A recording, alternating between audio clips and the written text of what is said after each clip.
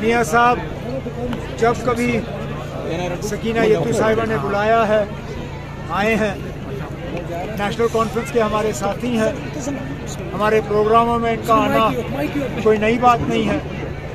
आगे भी इंशाल्लाह हमारे प्रोग्रामों में आते रहेंगे ना इसमें क्या बात है? संकेत यही है कि पार्लियामेंट के लिए ही आप काफ़ी लोग है। आप लोग अलग अलग अब उमर साहब उमर साहब ईसीआई उमर साहब ईसीआई नज़र से एक ही पे पड़ती है यहाँ जैसे लोगों की ख्वाहिश भी है इसीलिए हम बोल रहे हैं। लोगों की ख्वाहिश है।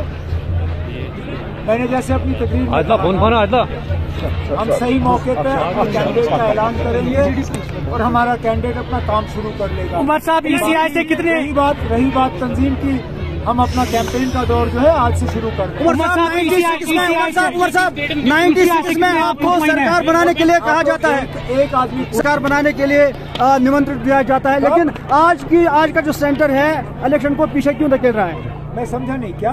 सर 96 में हालात बहुत खराब थे लेकिन आपको जहाँ तक अब हम चाहते थे कि दोनों इलेक्शन एक साथ नहीं हुआ।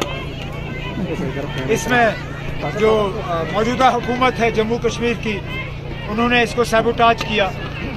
क्योंकि वो चाहते नहीं है कि यहाँ पे इकतदार जो है वो दोबारा लोगों के हाथ में हो। बेताज बादशाह बैठे हुए हैं। लेकिन अल्लाह का शुक्र है कि सुप्रीम कोर्ट का ऑर्डर के मुताबिक 30 सितंबर से पहले पहले इनको यहाँ इलेक्शन मुकम्मल करने होंगे। कि बाज नहीं आएँगे।